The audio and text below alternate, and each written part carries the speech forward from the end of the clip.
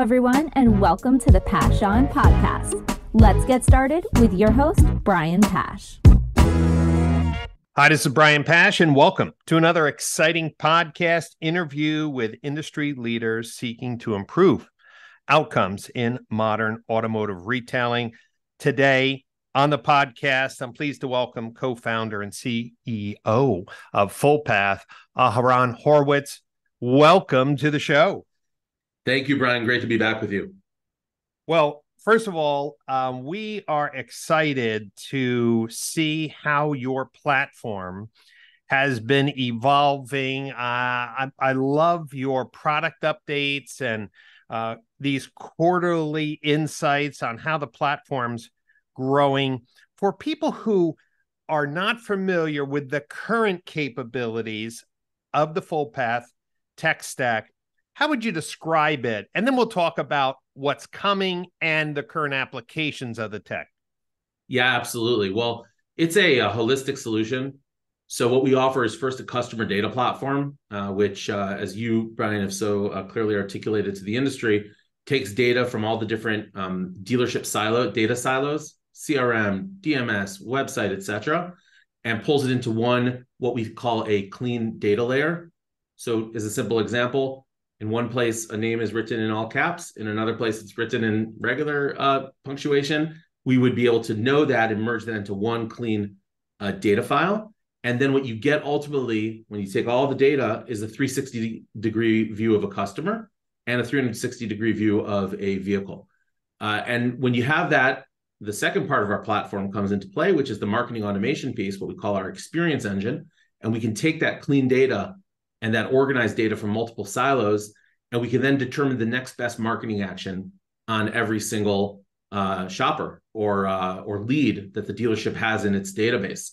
Uh, here we use a lot of techniques, you know, the obvious outbound channels like uh, d- uh, digital advertising, uh, email, SMS, but we also use quite a bit of AI to both try to understand what to show and to then affect it. So for a dealership, it really is just a pillar of a modern dealership. Uh, and we think that you know having a CDP with some marketing capacity and AI is is critical for dealers that want to succeed going forward. You know, and for our listeners here who may not understand completely the benefits of a CDP, um, and you know, of course, we always have detractors in the marketplace saying uh, CDPs are the next shiny object. But the truth is, uh, outside of automotive, any multi-million dollar organization values their customer data. And we know as an industry that the DMS is a data at rest historical record of transactions. Every day, data in that DMS is uh, broken as people move, as cars are sold outside of the dealership. And we know the CRM is a dirty cesspool of data as uh, sales agents can modify, change, or even even mark an opportunity as no longer in market to make their conversion rates or pay plans uh, look more favorable to them. So there needs to be a place, a safe place for dealers to collect, manage, do proper data hygiene. So a CDP will be the third leg in the stool of dealership operations. And then, as Aharon mentioned, is the ability to activate on that data. But one one thing that I'm finding is that dealers really don't know how dirty their data is.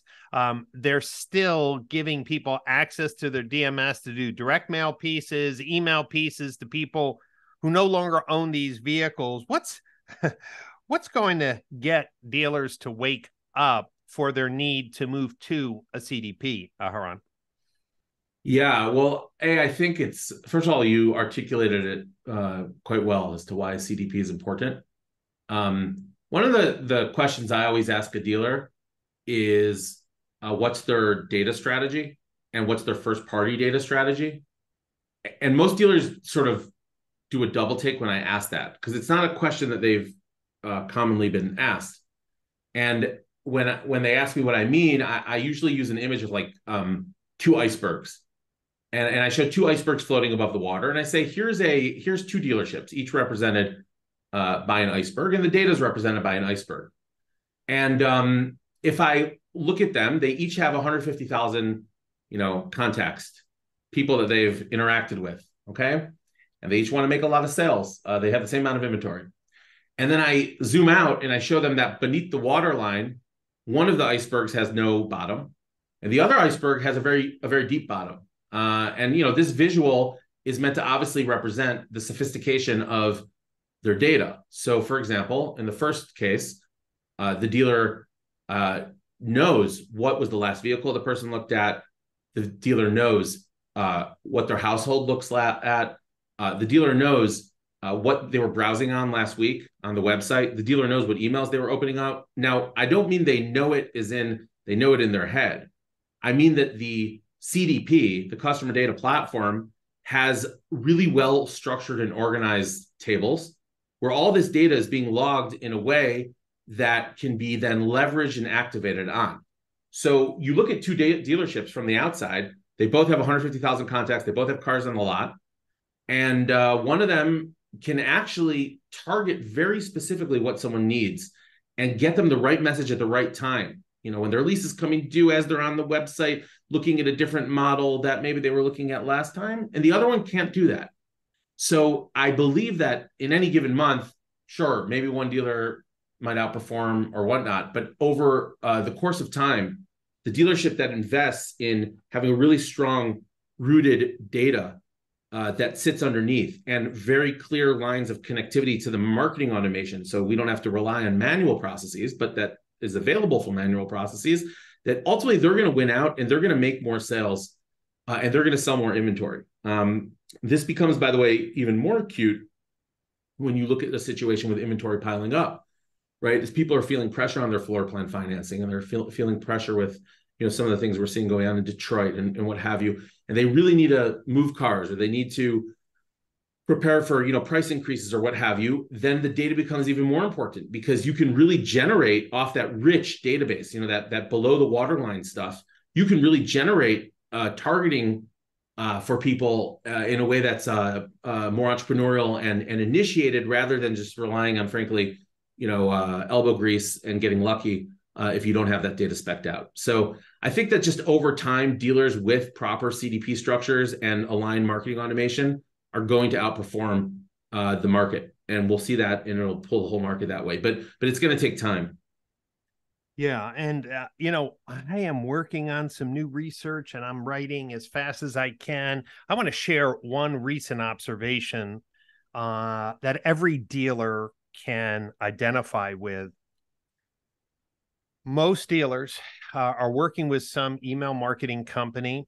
Uh, typically, that company is taking uh, data from the DMS, maybe the CRM, and they're sending out emails.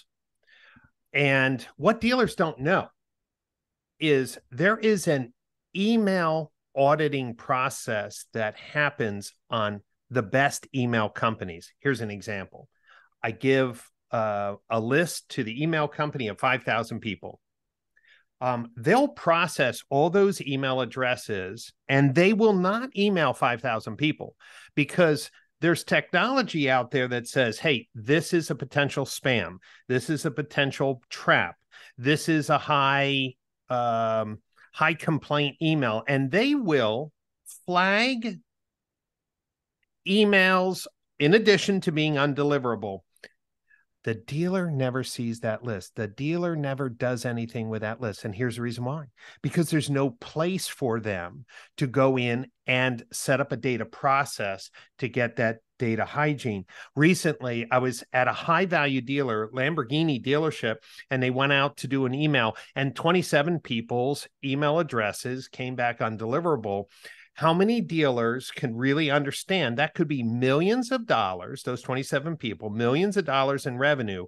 But if they don't have a data strategy for their first party data, then, well, that information gets buried. What should be happening is that when our customers are flagged as a bad email or an undeliverable email, it should be pushed through the CDP into a calling campaign so that record can be updated. The, the, the call centers not going to be able to update the DMS in most dealerships, but they can update the CDP.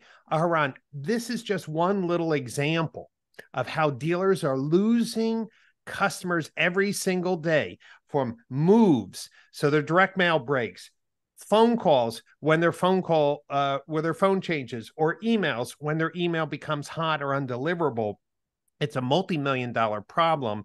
How is Fullpath looking at your future state to be able to take these signals in and then create data hygiene processes to keep the dealers data and customers uh, able to be contacted?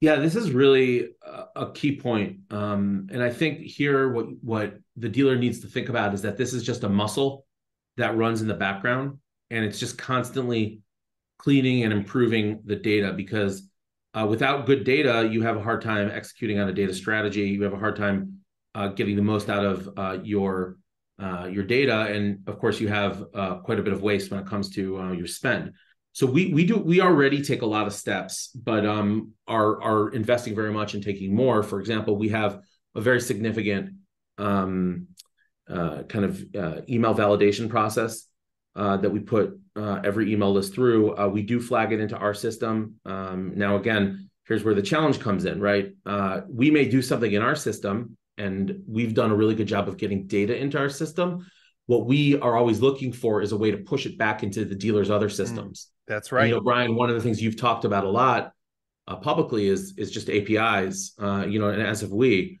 that when you have a really healthy API environment, uh, vendors can work together uh, to help the ultimate client. And when it's difficult for us as a, a very data aware company, which has tremendous insight into what's going on out in the edges of the data, and we're bringing that back into one uh, centralized uh, point we want to push that to the dealer's other systems. So, for example, I'll just give you two simple examples. If if uh you know, as you mentioned, if we find that an email is undeliverable or is just like we have all this logic that fixes emails, maybe in the CRM some someone forgot to put in the the M at the end of .com, we can update that and fix that on our end. We need to be able to push that back to CRM and DMS to fix it on that end. It's one simple example, the simplest example, right? The uh, more sophisticated examples are, are like this. Let's say we know that uh, a person browsing the website right now came in on an ad with a very specific lease offer. We would love to tell the chat on the website that maybe is not Fullpath, even though we do have a chat, an AI chat, a GPT chat, but other uh, some vendors, some dealers don't use our chat; they use another chat. We'd love to tell the other vendor chat, hey, by the way, if you're going to start a conversation with uh, this person browsing the site right now, you should mention this lease offer because that's the ad they clicked on. And we'd like to tell the website, as opposed to doing it the way we do it today by you know sticking it in on the modal le- le- level, we'd love to tell the website, hey, prioritize on the VDP that they came into or that they're on right now. There's a lease offer that they're really excited about. Stick it in there, like put mm-hmm. a box in lease offer. So that level of API integration exists outside of auto, and uh, it's quite doable. Uh, in fact, we've we've done it uh, many times outside of auto, and we're still looking for ways to do it in auto at the uh, level of uh, of uh, fidelity that it needs to create the best shopping experience. So again, we can all work on the uh, the the muscle of cleaning and, and, and, fixing data, and I and you know indeed we do, and I think there's a lot more to come on that.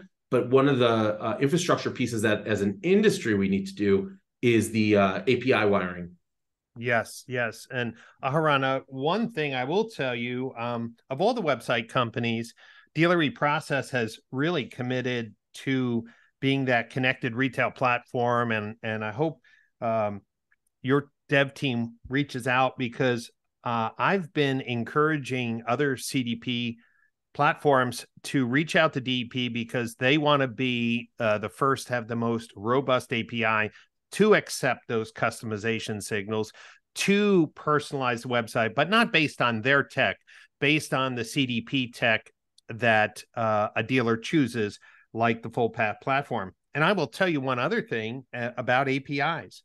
Um, one of the advantages of your platform is um, to use data to override um, blunders. For example, uh, a lead in the CRM is marked as no longer in market, yet you recognize them back on the website.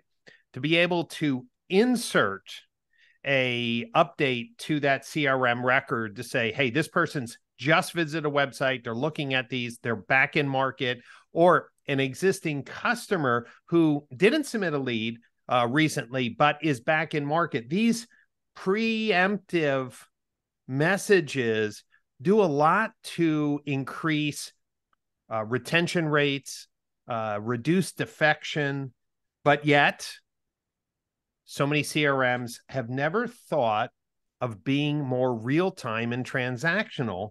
Uh, this is something that we have to work to as an industry, especially as your vision is not to be everything, but to be the connecting um, framework to enable better utilization of CRM, better utilization of marketing, better personalization of websites. That's a vision, uh, Aharon, that I am buying into 100%.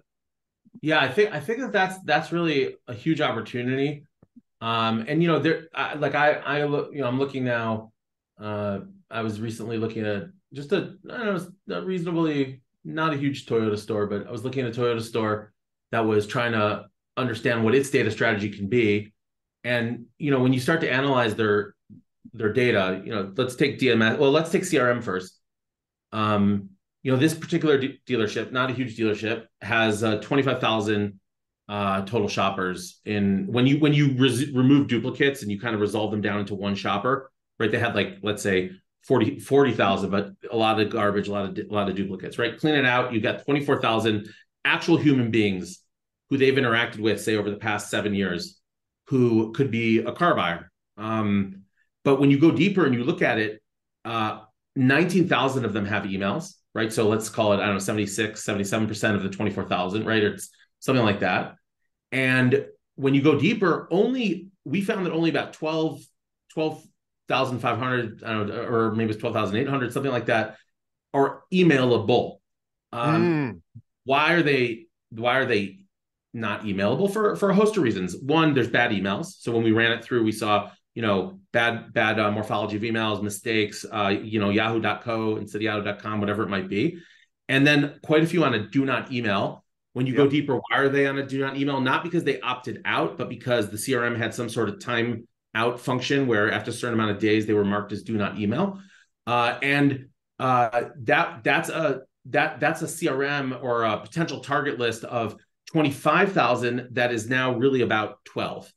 And so if I'm that dealer, I'm thinking to myself, well, A, could I do some sort of message out to the, the do not contact people who were not opt outs, but were just opted out by, by a CRM or what have you, and see which of those are still aware and awake? Can I check if some of those people were on my website recently? Indeed, some were. So why should they be opt outs, right? Uh, without unless they choose to opt out. And then I could also think about others who don't have an email to do a campaign to get their email and fill out the data and enrich the data, right? So all of that uh, effort that goes on behind the scenes is critical for dealers that want to uh, take advantage of all the technology that you're talking about. Uh, and I'm glad to hear that there's some vendors you're working with that that uh, that are uh, are helping uh, facilitate that. That's right. Because at the end of the day, the dealers who get that their first party data management is holding them back uh, financially will start to make the investments. Uh, I'll give you another example. Um, another dealer group I'm working on a CDP project. We took one store, we took data for the last uh, four years, and uh, 50 only 52% of the people in the DMS still own the car that was there. 48% had uh, sold that car to someone else. Yet, of course, we had to get that data from outside the DMS. Yeah. So, as you mentioned, um, let's let's add one more level. You said, "Hey, if we started with twenty five thousand, hey, there's a lot that didn't have emails, and then the ones that had emails, some of them were bad, and that cut down the list." Now, what if we said probably half of those people own the car that we think they own? Um, and you could start to understand why dealers are frustrated with their marketing investments, their direct mail efforts, um, their call center efforts. Yet, outside of automotive, customer data platforms um, are the solution because we can create an updated, accurate uh, 360 view of each customer through data partnerships, through data hygiene. And then, as you mentioned, there has to be now a investment for dealers when their valued customers get flagged as undeliverable for email or change of address decide whether or not we still want to uh, market to them. Are they out of state? And then of course if we try to call them and the number is disconnected. This is really that next step. And i and i think Aharon there is going to come a new company or service that's going to be able to plug in to dealers' CDPs and handle these exceptions through uh, call center strategy. I think it will absolutely make sense in the future. We just never had a tool that a third party call center could update, but a trusted partner could definitely update your CDP. Uh, and the dealer would feel more comfortable with that than, say, having them go into the DMS. Do you agree? Yeah. By the way, I think that's a very good point. Uh, and it does work. Uh, we've done it ad hoc a few times uh, for some dealers, you know, over the years where we've sort of made an effort to help them. Um, you know, it's in our interest for them to have have their data uh, fully um, as fully baked as possible. So we we've done it, and you can see the results. Um, these are not sophisticated. It's not a complex call to no. out to someone and say, "Hey, we're calling, you know, on behalf of whatever, we'd like to just update your information or make sure this is correct. I mean, there's, it's that's not a complex um, uh, initiative, and I think that the dealers really benefit from it, the shoppers benefit, um, and it, it is something that should happen. And, and, and rather than worrying about getting it 100% right, which is I think the mistake sometimes the trap dealers fall, fall into sometimes, what they need to have is the muscle operating all the time. Yes. And you'll never be 100%, but with the muscle operating all the time behind the scenes, uh, you'll always be better uh, than you were before, and that's that's really what you want to see. It's just this constant um, improvement. And I think also sometimes you know when those of us who who operate in a more of a marketing environment, you know, we understand that marketing is uh it, it's it's it's mass, but it's also very specific. And so the more specific you can get using mass marketing tools, the the the better performance you're going to get right you know we went from a world where you just send a message to everyone in New York. And then you want to go to a world where you could say, okay, I'm going to look for people who I, I think live in, in Yankee territory and people live in Met territory. And now I'm going to do a Yankee message, a Met message. Then we get went to a world where you say, well, now I want to even get it down to, uh, uh, you know, what's what's the age demographic? So which players do they probably most connect to? I mean, you could get really sophisticated, and we're at a level with the amount of data that we have on the dealer uh, shopping journey that we can get down to a one-to-one message. I can literally craft every email, every message, every on-site message to be about what they are either predicted by our AI to most be interested in, or really what they were interested in because we saw that they were either opening an email with a certain type of car, a certain model, uh, and and that's a very powerful tool for a dealer to unleash. And if you want to succeed again, you know, competing competing in the in, in the future when you're we're all we all know dealers are going to be up against the most sophisticated technology players uh, out there, uh, we we have to get this tech into the dealers in a way that works, and we have to overcome some of the kind of historical um, tendencies to uh, to not necessarily operate in, in in a in a data strategy rich manager manner. I agree. I agree. You know, recently, a little over a year ago, Carrie and I bought a small uh, dog, a toy poodle, and of course, uh, she has stolen our hearts. And even today, uh, data is available to know if a household is a dog owner or a cat owner. And in a CDP, uh, images on vehicles could be customized to show pets in, uh, you know, uh, uh, Ford truck versus not not pets, or if somebody is active uh, with sports or someone no who has a new child. Um, outside of automotive, these personalized messages are are commonplace, but you need a CDP to absolutely append this data. And I think that what I want to tell the dealers who are listening is there's two pieces to the puzzle. Are you going to value first party data and which platform are you going to choose that gives you the most options to keep that data up to date? And then number 2, how easy is it for uh, marketing and messaging to be activated. And, you know, I guess there's a third piece, Aharon, is whether or not the platform is co-opable or not. And, and can you speak to that? I know you've been growing in the number of OEM programs. Um, can we can we talk a little bit to that on um, marketing activation and co-op programs? Do you see dealers making that a big issue, or are they really just more uh, interested in getting their data organized and activated and co-op isn't the determining factor? Yeah so so it's a great question. I mean right now Fullpath is is in uh we, we've recently joined a few new programs. Um we're in we're in stellantis we're in toyota we're in maserati we're in subaru. We have a few more coming uh, quite soon. And what's interesting is that most of the oems uh, in the industry are still operating in a very um, segmented uh, manner so you know they'll usually they'll usually align their co-op with like atomic uh, apps, you know, or a, a sort of atomized vi- vision of apps. Like you know, there's a chat co-op, and then there's maybe a dig digad co-op. Then there's a a, a social digad co-op, and then there's website, and that right. So the holistic view, which is I think the view that is going to ultimately prevail, where where you have a, a, a you know a data infrastructure that's an actual thing that dealers value and consider important.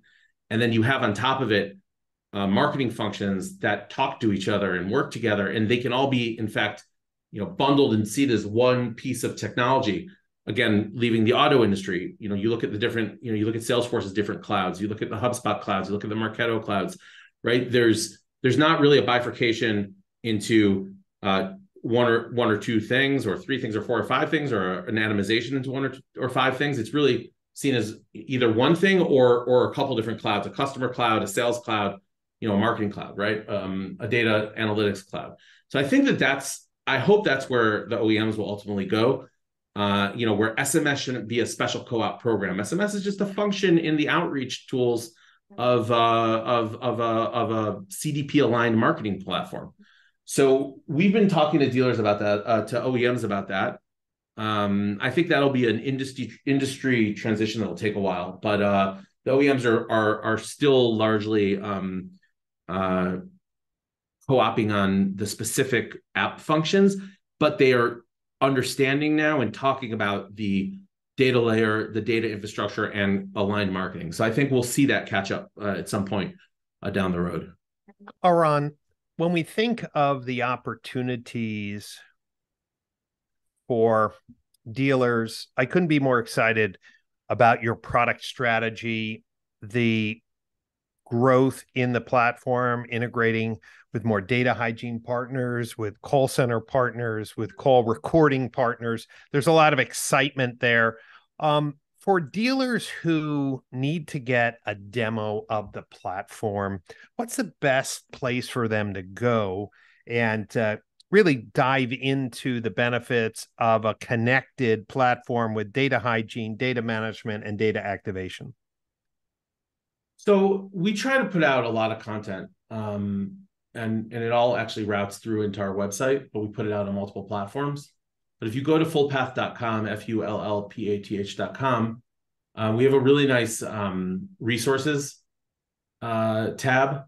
And in there we have a lot of webinars. We have we have a blog where we put out some long long form stuff, um, and we try to really talk about these things because you know the way we see our company is is really developing in partnership with uh, with dealers, and we spend a lot of time talking to dealers, listening, hearing what their challenges are, and then we think about how to translate those into uh, into technology and uh, and and a lot of that thinking we try to do out loud in in public. So uh, you know that's that's a great place to go. Um, and you can also look at Fullpath on LinkedIn. We put up good content there.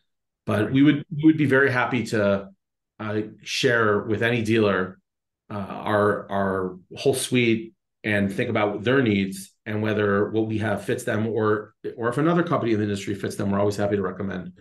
So I would definitely take a look at our website. Right. Well, um, this podcast interview is part of a series as we get ready for the Modern Retailing Conference, November 12th, 13th, and 14th in Palm Beach. And well, uh, the team for Fullpath will be there.